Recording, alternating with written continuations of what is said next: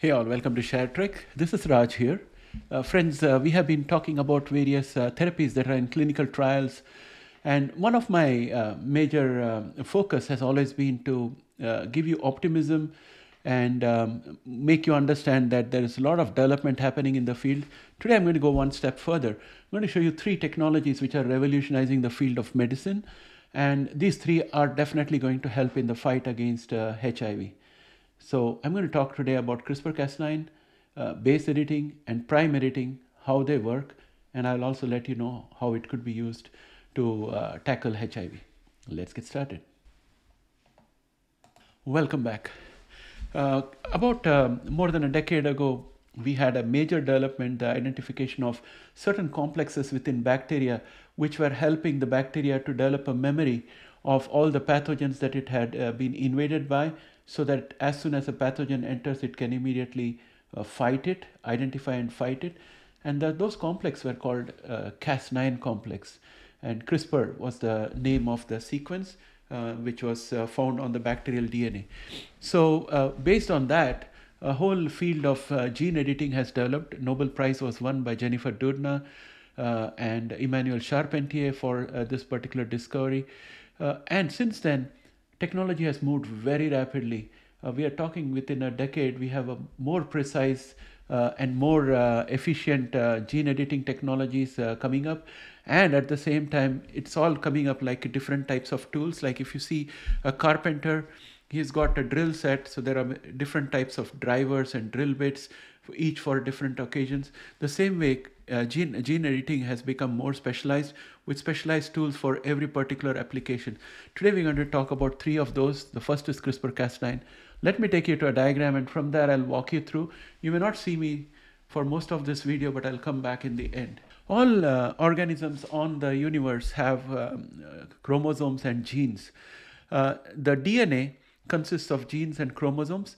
The DNA is what defines the characteristics of a, uh, of a organism, whether it's a grain or whether it's a plant or it's a human or an animal. For humans, we have got 23 uh, chromosomes.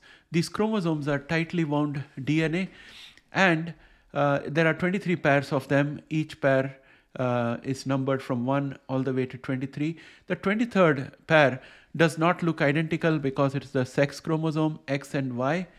Uh, and uh, you have two X for female and XY for male. Uh, that's how uh, you have to read the 23rd chromosome. And these are all found in the nucleus of a cell and they determine all the activities. And therefore, if there is any spelling mistake in the DNA, it may occur in one of these genes.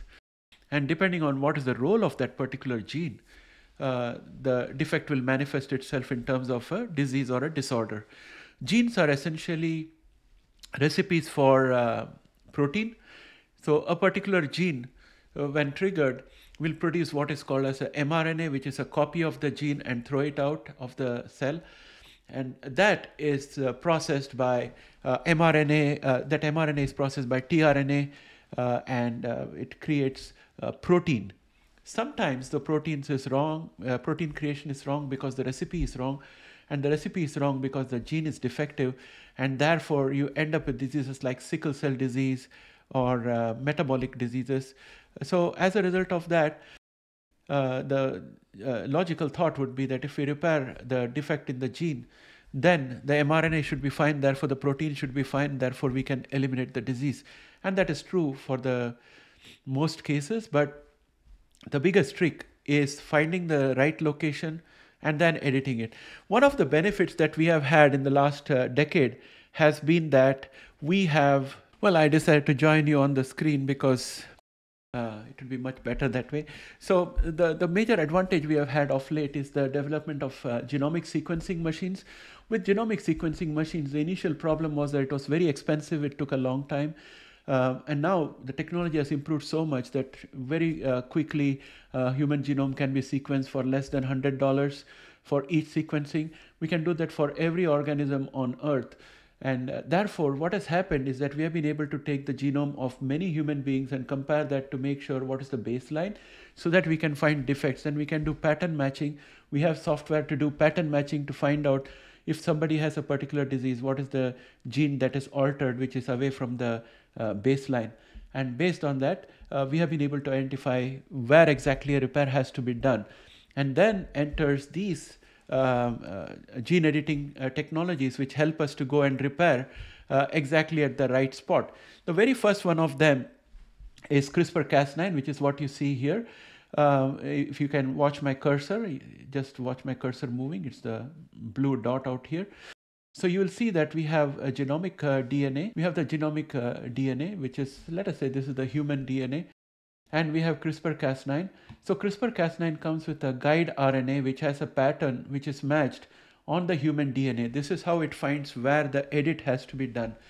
And then uh, it goes ahead and uh, cuts at that location and there's an auto repair function that happens by the uh, by the DNA by itself. And corrections can be written into this place for that sequence. This is how CRISPR Cas9 works. One of the major uh, problems for CRISPR Cas9 is off base edits which means uh, editing in the wrong location. For example the postman delivering a letter for house number 18 in house number 20 those kind of things happen and that's why that's a problem. The second problem with CRISPR-Cas9 is that when you do double strand cuts, the automatic repair which happens is not always reliable and mutations can happen. And double strand cuts in certain locations on the DNA can cause cancer. So people are a bit wary about CRISPR-Cas9 and it's being used very, very carefully in certain cases only so that uh, the outcome can be controlled and can be uh, more reliable. So that's being done. And then in order to avoid the double strand break, we have what is called as a base edit. This is the base editing uh, diagram where you can see there is a Cas9 uh, molecule and it has a guide RNA which helps to find the location. And it, once it finds the location, a particular base is edited. In this case, it is converting C to T. So the deaminase uh, and the components which are there in the base editing uh, molecule have separate co components to convert uh, A to G and uh, C to T. So it does not do a double strand break, but it just changes one side of the equation and therefore on the other side the corresponding change will automatic, automatically happen due to DNA repair and you will have solved the problem and edited the gene without double strand breaks. But just a single or uh, one or two uh, base edits uh, are low hanging fruits for certain diseases where there is just a single base or double base uh, uh, spelling error, if I may use that term, uh, to cure a genetic disease. But for many, uh, it's going to be much more. And that's where you have uh, prime editing. And uh, prime editing is a bit more complex. Essentially, what it does is that it combines the facility of CRISPR Cas9 of doing a larger edit along with the advantage of base edit of not having a double strand break. So the guide RNA goes to the target sequence on the DNA and separates out the two strands and uh, a cut is made on one side of the strand, not on both. And then there is a RNA guide which says what replacements have to happen and those replacements are done and the DNA is closed back again. So this is how at a high level uh, prime editing works. Now, how does this help? Let us say that in the past we have been using small molecules and large molecules uh, uh, to uh, in order to combat HIV, and that's how we used to make all those uh, ART and other things. But now going forward, we have this really good prospect of actually editing out the the RNA of HIV or the DNA of HIV using these techniques. And Excision Bio is the first therapy which is looking at this kind of an approach.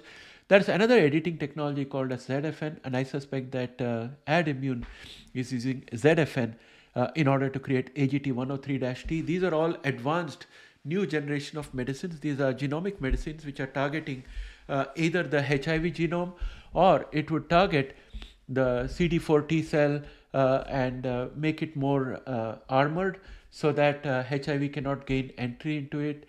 And we have technologies like uh, short interrupting RNAs, which can be introduced into CD4 T cell.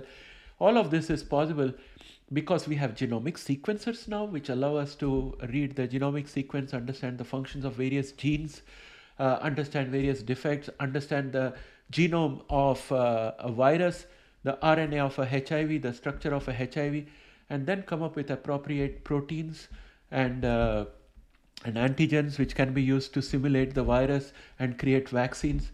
So all of these are possible thanks to uh, genomic sequencing and our knowledge of uh, genetic uh, medicine.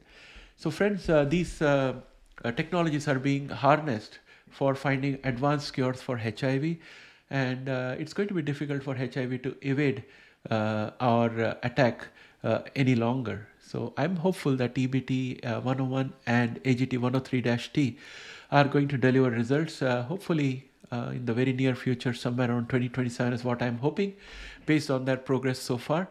So i hope you liked this video.